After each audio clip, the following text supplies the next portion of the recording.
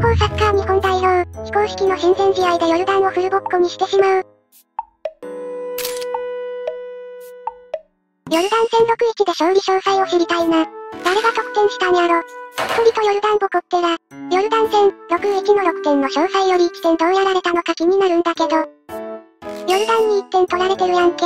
クリーンシートできないね。まさかのヨルダンに決められてるという。何があったんだよ。日本ヨルダン相手に6点取ってるけど今失点しちゃって6-1なのね練習試合だけど無失点で終えたかったな。ヨルダン相手に6-1は強すぎて草。ちなみにアジアダブル杯優勝候補の韓国はヨルダンと直近1例。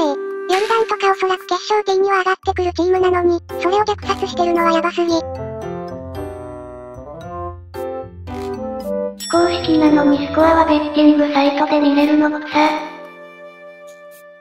ホットな話題から現地の声まで、他とは違った視点で情報発信しています。ぜひチャンネル登録お願いいたします。